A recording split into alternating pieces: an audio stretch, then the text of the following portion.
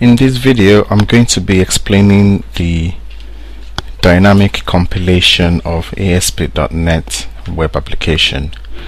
Uh, by dynamic compilation I means it means ASP.NET is a dynamic language sorry is a is a compiled language and not an interpreted language and uh, that being said you can also make your ASP.NET to be interpreted if you want so but it's, it's how we explain what it means. Dynamic compilation because because every ASP.NET page is a is a is a is a page class. It inherits from the page class and um, I'll show you what I mean from the code page. Can you see that this is a page class and the default to page which is one of the pages is actually a partial class. It's a partial it's called public partial class default to so it's, it's, it's, it's a type of a page class. So every time you create a page you're actually creating a new instance of the system.web.ui.page class. So the um, ASP.NET page including all the codes and uh, HTML and everything will be compiled into a .NET class.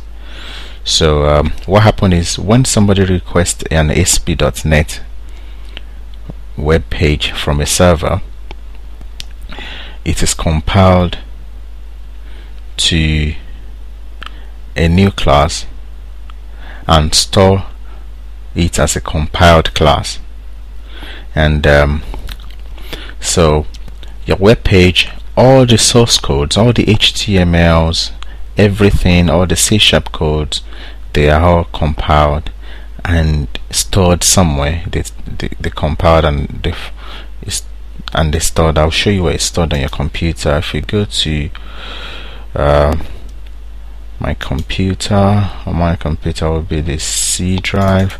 If I go to Windows uh, let's show the content of this uh, go to Microsoft.net uh, go to the framework. I'm sure I have a lot of frameworks. I'm not even sure which frameworks I'm using. Uh, and I think I'm going to show you. Let me quickly check which framework I'm using. How do I see it? Let's say I want to add a new uh, web form. I might not be able to see it. Alright let's do this. Let me show you how you can easily see what framework that you're using. If you go to the build tab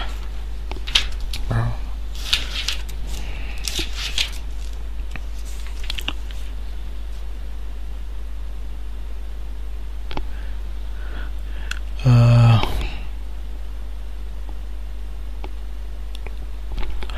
if you go to the web website tab then start option uh, start options and go to the build tab. You can see the target framework to be .NET 3.5 so that's the .NET 3.5 framework. That means it's the .NET 3.5 I'm actually using. You can target other frameworks if you want to 3 and 3.5 so uh, so if I go back to my computer area then um, because I'm using the 3.5 I can just check on the 3.5 and inside there I should have what is called a temporary ASP.NET files. Do I have anything like that? Uh, well because maybe because I'm developing on my local machine I'm not using the IIS uh, MS build. No it's not here. Temporary uh, it's okay I'm sure if you're using this on um, let me see Microsoft Build that this that that that that that that that. Ah uh, it's okay. You know they changes things around isn't it? Let's check version 2 maybe we'll see Microsoft. Uh, yeah you see temporary ASP.NET files. This is what it's supposed to be but 3.5 is probably different now. So I'm still talking. Can you see? This is the one. Quick start. And these are all our pages you know these are all the compiled versions of our pages that uh, Microsoft has compiled. So you know they they move things around Microsoft. Anyway so what happened is the next time think about a compiled page as um, a time saving because your all your C sharp codes everything is compiled into one file. Well many files but it's compiled and ready to be executed. So anytime the next time somebody requests the same page in the future the page doesn't need to you know find where the um, methods is where the script are. Everything is already in place so you just deliver the same page over and over again. The only time the page needs to be recompiled again is when you modify your page. When you modify your page then the uh, the the dot, not .NET framework that can actually detect that the page has been modified so the page should be compiled again before it can be served. So that is why if you load your um, pages onto the web server and um, request the page for the first time the execution will be slow because the page is trying to compile for the first time. So once your pages has been compiled for the first time then the subsequent request will be much faster because the compilation is very very I mean it has already been done. So this is what they call the dynamic compilation because dynamic compilation will enable your ASP.NET application to support thousands of users simultaneously. So if you have like 1000 people requesting your application your application will not need to be compiled to be compiled all the time. It is requested because one page is, is only compiled once and the compiled page will be served to the people. The only time that the compilation needs to be done again is when you have modified and your pages. So because uh, the previous classic ASP uh, you know the ASP not the ASP.NET the classic ASP um, is an interpreted language which means that there's no compilation. Every time somebody requests the page the page has to be processed again and again and again for each of the um, requests.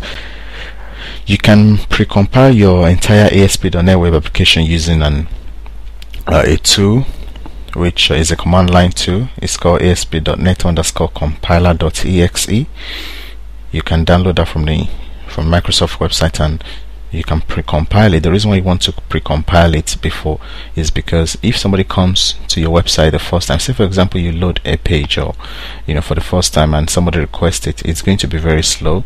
So but uh, what I usually do is when I put my page on the internet I make sure that I go to that page myself so that the first compilation will be done. So that subsequent request from any of the visitor will be much faster. So um, you can view the compiled page if you want to. Um, if you want to if you go to the uh, ASP.NET in, um, temporary folder that I just showed you you can see how your um, pages are compiled.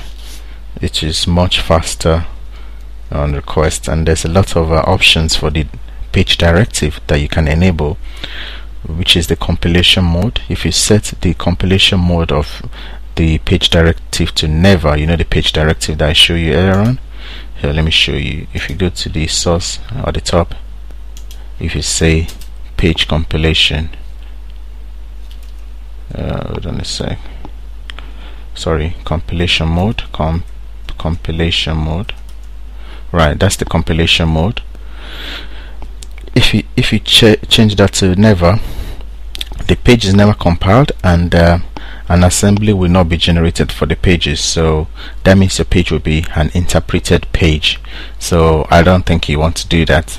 Um, there might be an advantage for you to do that. And the advantage I can think of is if you have so many uh, pages like a thousand page or two thousand page you don't want them to be compiled because they're going to be taking too much memory of your server so maybe then but if you have a interpreted language I mean interpreted page so that means every time somebody make a request uh, the page will be interpreted and um, I don't think that's a good idea.